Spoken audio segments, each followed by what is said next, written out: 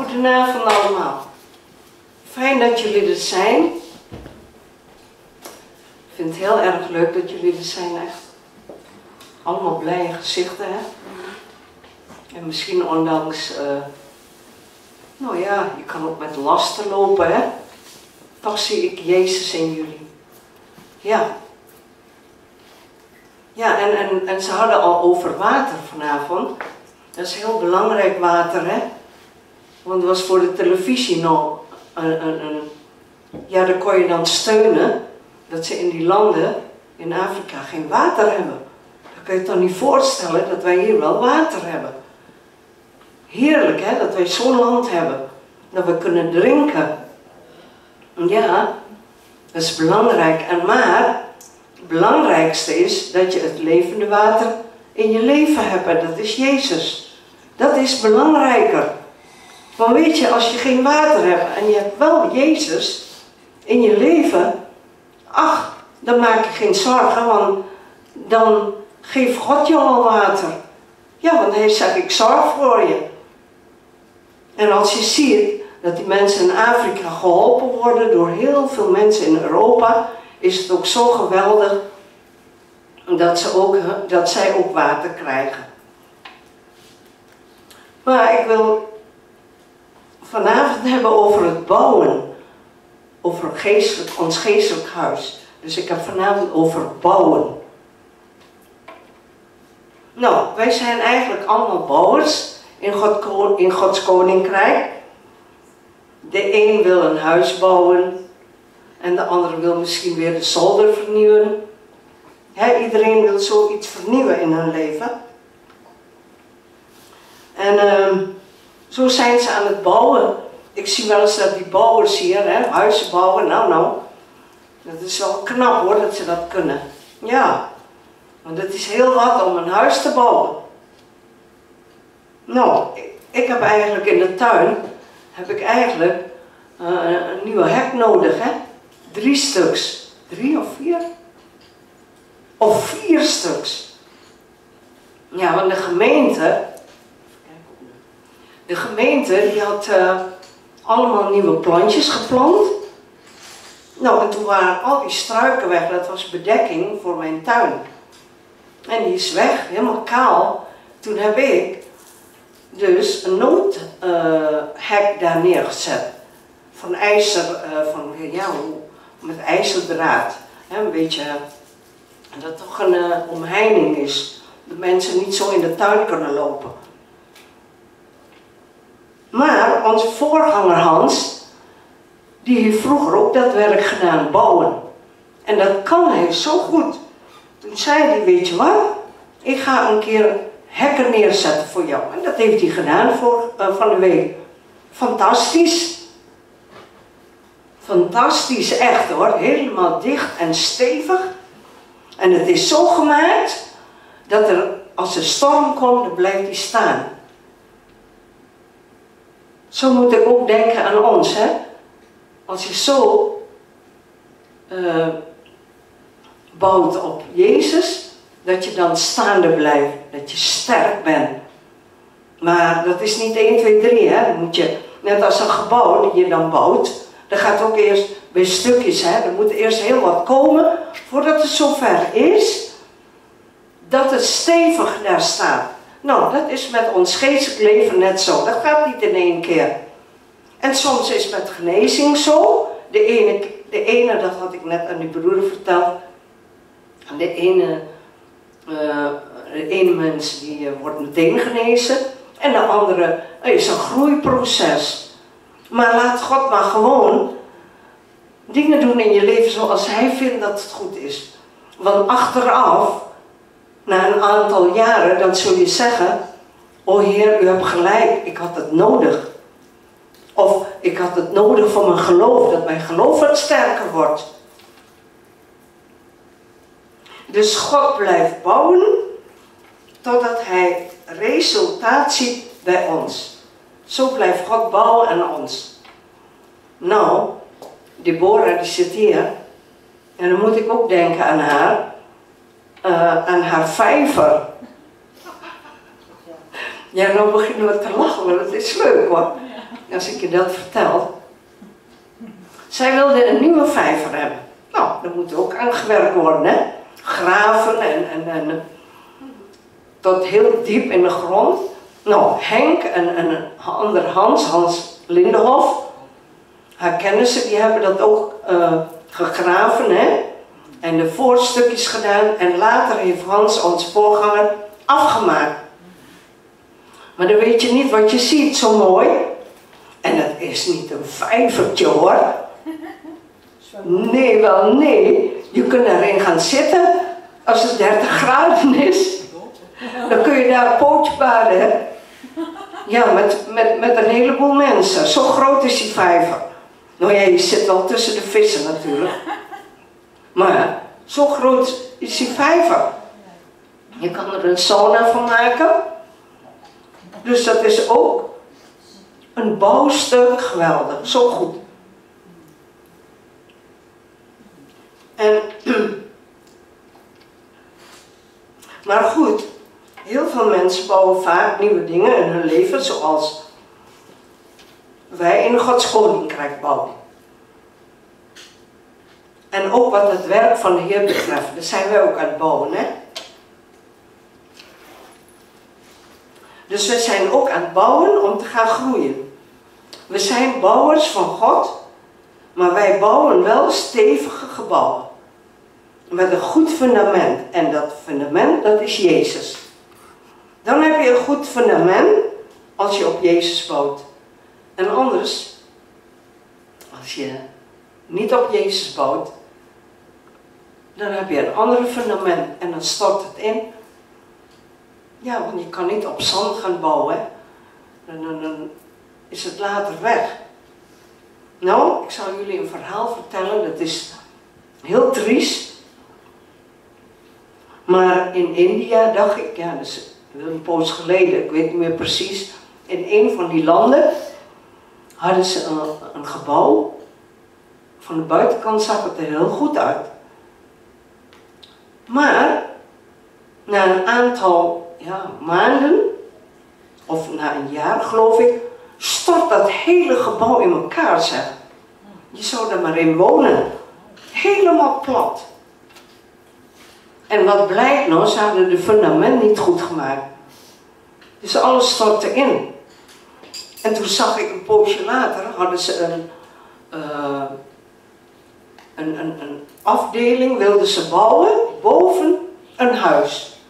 Die was ook, die was ook klaar en die stond wel goed. Maar dan wilden ze nog een afdeling bouwen op dat huis. Dus dat hadden ze gedaan. En binnen de kortste tijd stortte dat ook in. Dus met andere woorden, dat huis die eronder stond, ja, die was ook niet stevig gebouwd. Anders ging die daarboven ook niet uh, naar beneden uh, kelderen. Dus alles stortte in, hè. En dat kan in ons leven ook zo zijn. Maar bouw je met Jezus, dan ga je steeds hoger, hoger de berg op. En dan zak je niet terug naar beneden. En doe maar gewoon in je eigen tempo. Dat je denkt, ja, maar die groeit hard.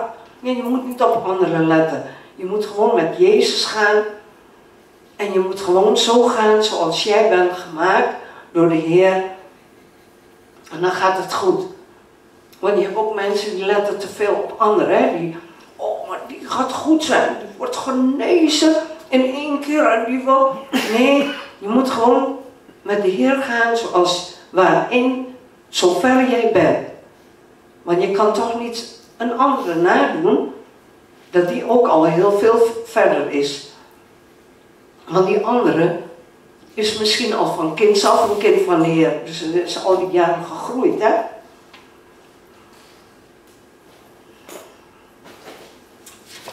Even verder over het bouwen.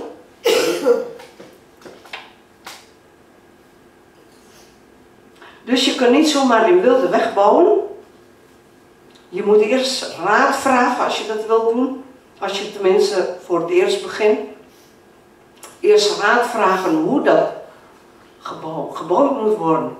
Want ik heb wel eens mensen gezien dat zij zelf een gebouw willen bouwen, een eigen huis.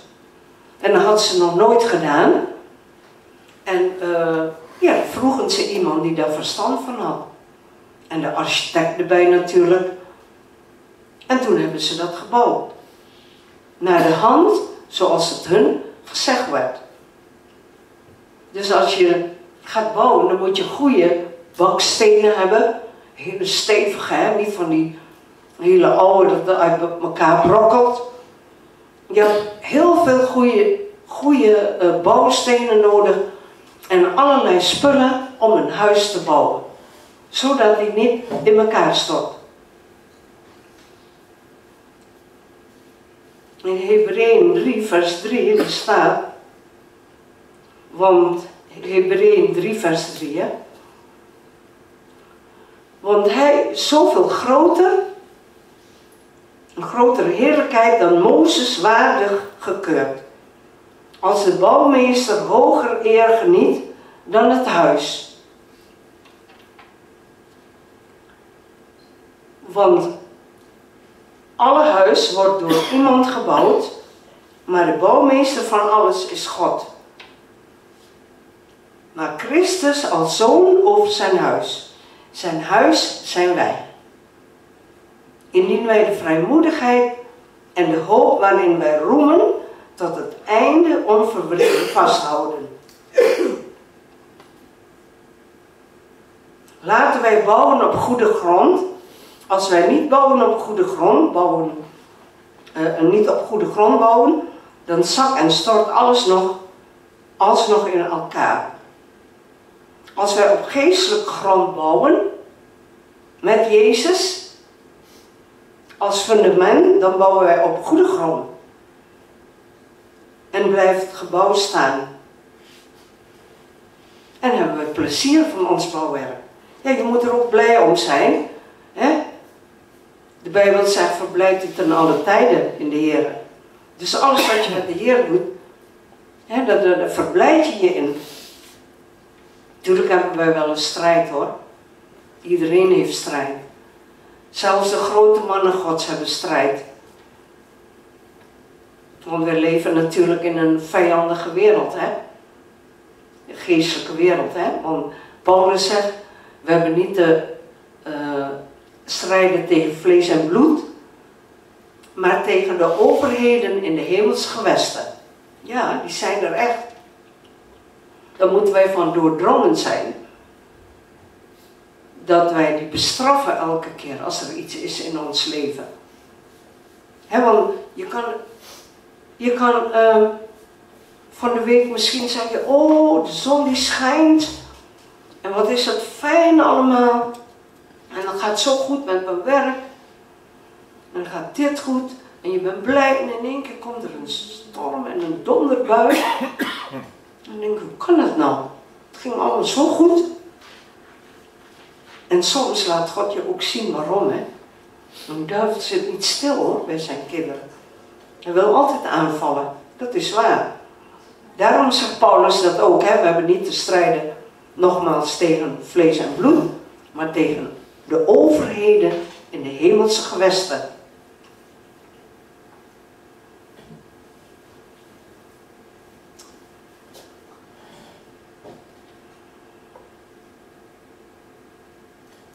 Voordat wij Christus als fundament kregen, had Christus ook eerst een zware prijs moeten betalen.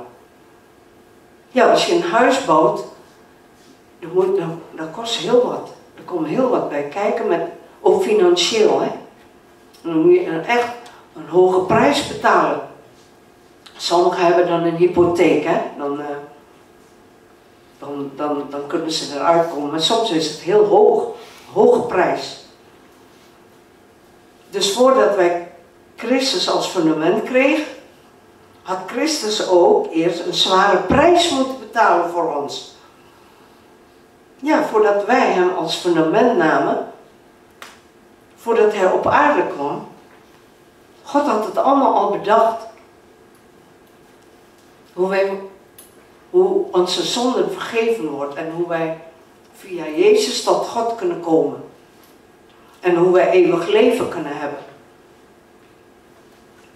Dus daarom als mensen Jezus nog niet kennen, Oh, ik zal je zeggen, neem hem aan. Dan echt hoor, dan ga je een heel andere leven tegemoet, wat je nog nooit hebt gehad. Ja, want weet je waarom? Het is een avontuurlijk leven met de Heer. Je beleeft elke keer weer nieuwe dingen. En je mag ook zeuren hoor bij de Heer. Ja, ik heb wel eens gehoord, ik ga je toch niet vragen aan de Heer allemaal. Ik zeg, nou, ik vraag alles aan de Heer. Want hij is mijn vader. En dan zeur je de hele dag weer, kijk eens hoe moeilijk ik het heb en ik heb het nog niet. Doe maar. De Heer vindt het helemaal niet erg. De Heer die begrijpt jou. Je mag alles zeggen tegen de Heer wat je wil. Je bent er vrij in. De Heer heeft jou in de vrijheid gezet om tot Hem te komen zoals je bent. En Efezië 2, vers 19 tot 22, dat wil ik ook voorlezen. Zo zijt gij dan geen vreemdelingen en bijwoners meer, maar medeburgers der heiligen en huisgenoten Gods, gebouwd op het fundament van de apostelen en profeten, terwijl Christus Jezus zelf de hoeksteen is. In hem was elk bouwwerk goed ineensluiten. Ja, dat is ook belangrijk wat hier staat, hè? Ineensluiten. Dus je kan niet een uh, gebouw uh, bouwen met kiertjes en, en ja, als het, als het winter is of, of er is storm, dan komt het toch erin. Dus hij was de hoeksteen. En, en goed ineensluiten. Op tot een tempel heilig in de Heer. Tempel zijn wij ook, hè? In wie ook gij mede gebouwd wordt tot een woonstede Gods in de geest.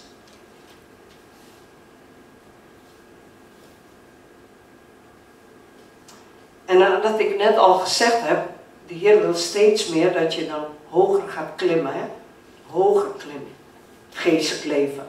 Dat je gaat begrijpen wat die geestelijk leven is en, en hoe je moet strijden. Maar natuurlijk blijven wij geen baby's in de Heer. Wij worden ook volwassen met Jezus. En uh, Dorothea heeft wel eens een preek gehad over klimmen, hè? bergop klimmen. Wat je allemaal nodig hebt voor instrument. Voordat je boven komt. En zo hebben wij God nodig om daar helemaal boven op de top te komen en daar te blijven. Kijk maar naar die klimmers, nou, dat kost een heel wat zweet en tranen soms. Om die hoogste berg te beklimmen, hè, met al die touwen. Nou, al leren ze mij dat honderd keer, ik zou niet durven. Ik heb geen hoogteprijs, maar ik zou niet durven om zo'n berg te beklimmen met al die touwen. Maar in het geestelijk leven durven we wel, want we hebben God bij ons. Dus je glijdt niet gewoon naar beneden, hij houdt je vast. Ja, ik heb wel eens gezien, hè, werkers hè, die, die uh, een huis bouwen, die moeten ook daarboven, als ze met het dak bezig zijn, moeten ze klimmen hè, op het dak.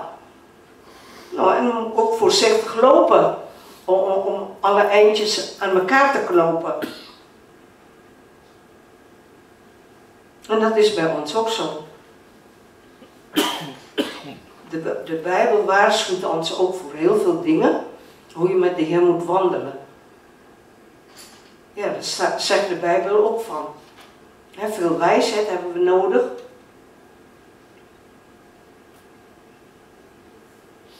En er zijn ook mensen die bouwen aan hun herstel, van hun geestelijk welzijn.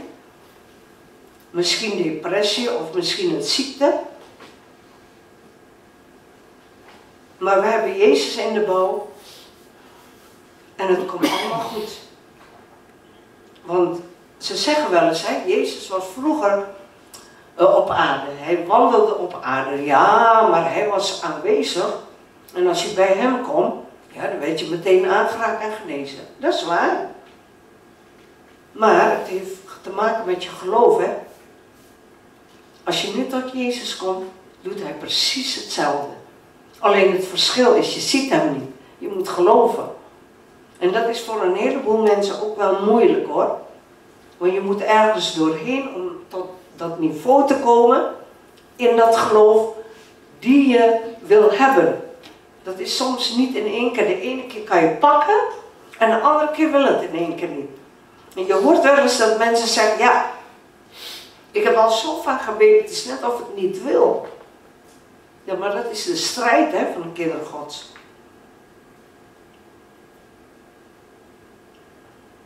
Maar, het, maar met God in je leven komt het allemaal wel goed. Misschien zit je nou ergens mee en na een paar jaar zeg je, oh dat is al lang achter de rug, ik heb alweer nieuwe strijd. Ja, zo gaat het soms. En ik wil spreuken um, ehm, 14 vers 1 lezen. Het is maar een heel klein stukje hoor. Spreuken 14 vers 1, daar staat de wijsheid der vrouwen bouwt haar huis. Dus met wijsheid moet je je huis bouwen. Want een huisvrouw, ja, s'morgens als ze uit bed komt, dan bedenkt ze ook van, ja, wat moet ik vandaag doen? De kinderen, school, dit en dat. Dan moet ze heel veel dingen plannen. En dus met wijsheid moet ze dat ook doen. Dat ze door haar tijd heen kan komen. Dat is waar. Dus, daar, dus wijsheid is nodig om je geestelijk huis te bouwen. Want de Bijbel zegt ook dat God je verstand heeft gegeven. Dus je moet je verstand ook gebruiken in je leven. Je kan niet zomaar zeggen van, oh, oh God die beschermt mij. Ik steek maar over. Terwijl de auto's daar denderen heen en weer. Nou, ik weet zeker dat je eronder komt. Ja, dus wij hebben verstand gekregen om ook de dingen te doen zoals wij moeten doen. En Spreuken 14 vers, vers 4, dat gaan we ook even lezen. Als er geen runderen zijn, blijft de kribbe leeg. Maar door de kracht van de ploegers is er een rijke opbrengst. Dus het is ook niet zo dat je moet stilstaan maar je moet net als die ploegers zijn, dat je aan het werk gaat. Want de kribben, daar heeft Christus in gelegen. Waar de runderen uit uh, voer kregen. En Spreuken 13, vers 25. De rechtvaardige eet tot verzadiging toe, maar de buik de goddelozen zal gebrek lijden. Dus het betekent dat wij leven hebben in overvloed, tot verzadiging toe. Leven hebben in overvloed. Omdat Jezus in ons leven is. Hoef je geen honger te lijden, geestelijk niet. En hier in Nederland hebben we allemaal goed, hè. Zelfs de straatmensen krijgen nog eten en drinken, waar ze al worden opgevangen. Ja, wij hebben een goed land eigenlijk. Vergeleken met sommige arme landen. Daar dank ik de Heer ook altijd voor. En Spreuken 16, vers 20, daar staat: Wie op het woord acht geeft, zal het goede vinden. Ja, zalig hij die op de Heer vertrouwt. Nou, tot zover en ik wens jullie God zegen hierin.